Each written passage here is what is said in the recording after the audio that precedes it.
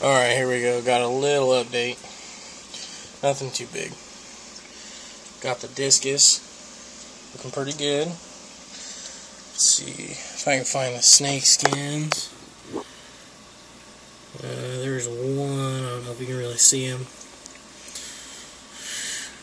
There's one. There's another one in here somewhere. Anyways, that's not what this video is for. We got the Anubias with a new leaf going on. Anubias Nano with a couple new leaves. These Crypts have just gone wild. My Barteri got a new leaf going on. Crypts got a bunch of new growth. The Madagascar lace with some new growth right there, you can see.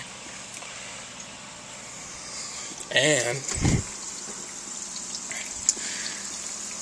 I don't know if it's supposed to look like that or what, but it's it's starting to flower. I don't know if that's just because it's I don't know, like its time's up and it's just bursting through, or if it's actually flowering or what. But there it is. And some new additions.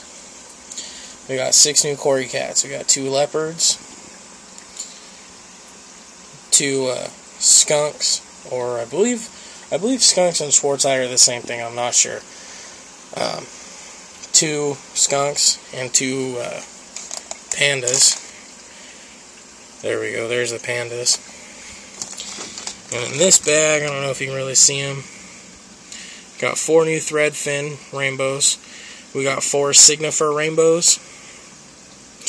And two, what are they? Eight line rainbows or McCulloch rainbows. McCulloch rainbows. There you go. Um, so, yeah, there it is. Everything else in here looking pretty good. Got my Australian rainbows. This platy, I'm not sure, but it looks like it's about to pop. And uh, some more good news.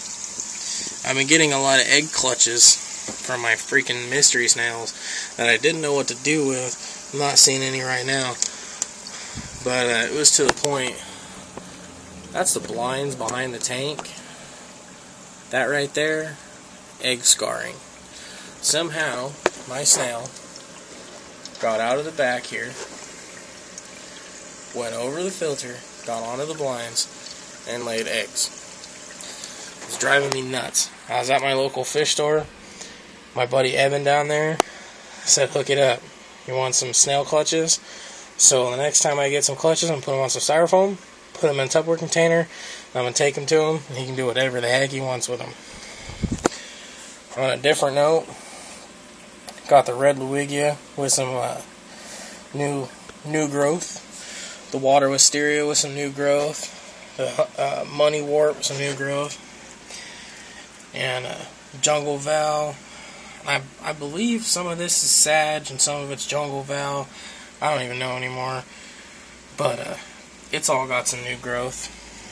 So, we're doing good. The Rotala is getting pretty good. Pretty uh, pretty tall back there. I got it, it was only like two or three inches tall. We're looking at uh, six, seven inches now. There's one of the snake skins. Looking pretty dope, if I do say so myself. Um, I know this tank's a little overstocked, and yeah, whatever. I'm kind of gonna I think I'm gonna use it as a grow out tank. I'm looking into getting a 125 eventually, a 220 whenever that happens, and uh, put everything in there. But right now, here's the overall. And I'm probably going to be putting some CO2 on this soon. I got someone that's going to give me a 40 pound tank for free, or a 40 gallon tank for free. So, uh, no, 40 pound, sorry, not 40 gallon.